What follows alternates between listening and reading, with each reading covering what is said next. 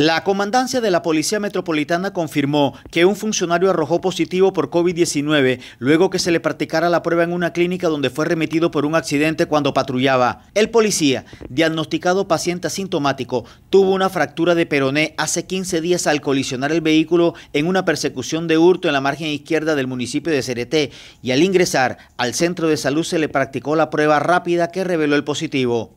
A la clínica, está en la clínica y se le está haciendo precisamente la verificación, al parecer, pues parece que, sí tiene, es el primer funcionario que tiene COVID. Eh, frente a eso, pues quienes fueron a recogerlo, auxiliarlo, también los aislé eh, preventivamente, pero de eso se trata.